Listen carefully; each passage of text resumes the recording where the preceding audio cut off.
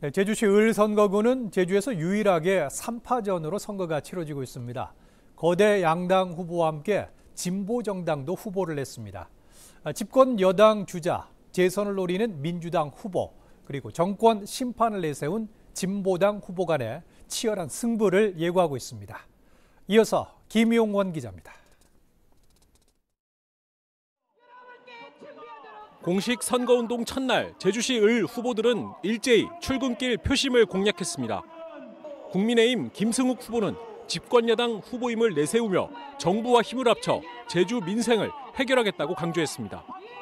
민주당 의원들이 20여 년간 국회의원을 해온 결과 제주의 민생은 점점 더 어려워져만 가고 있습니다.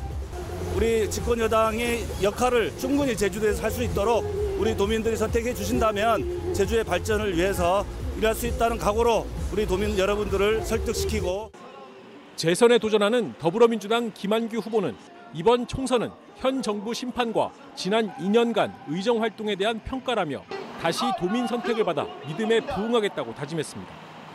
아, 도민 여러분들께 저 김한규가 도민을 위해서 꼭 필요한 사람이라는 것을 반드시 보여드리겠습니다. 사랑하는 도민들과 함께 반드시 승리해서 제주를 지키고 활기찬 제주의 미래를 열어내겠습니다.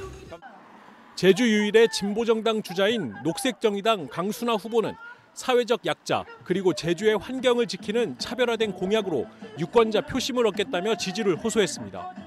국민들이 윤석열 정권을 제대로 심판하라고 이야기하는 선거입니다. 그냥 막연한 구호가 아닌 지금 퇴행하고 있는 이 정책들을 정말 바로잡기 위한 그런 선거를 뛰도록 하겠습니다. 어, 우리 녹색 정의당 어, 진보, 유일한 저, 진보 정당 후보로서 그 역할을 제대로 해내, 해나기 위해서 제대로 싸우겠습니다. 국민의힘 김승욱 후보는 제주시 동북권 신도시 개발과 구도심 활성화를 대표 공약으로 제시했습니다. 더불어민주당 김한규 후보는 정부가 삭감한 일자리 예산을 복원해 고용을 늘리고 벤처타운 원도심 유치를 약속했습니다. 녹색정의당 강순아 후보는 만원 청년 임대주택 공급과 탄소 배출 사업장 규제, 돌봄 사업 확대 등을 공약했습니다. 제주시 을선거구는 택지와 신도심으로 몰린 인구 쏠림 현상과 원도심 공동화, 1차 산업 농촌 고령화와 농가 부채, 읍면 지역의 열악한 교육, 의료, 생활 인프라 등 해결해야 할 현안 과제들이 산적해 있습니다. 민주당이 수성할지, 국민의힘 또는 진보 정당이 탈환할지 3파전 승부 속에 최종 선택을 받기 위한 선거전은 앞으로 진행되는 선거운동 기간 더욱 치열해질 전망입니다. KCTV 뉴스 김용원입니다.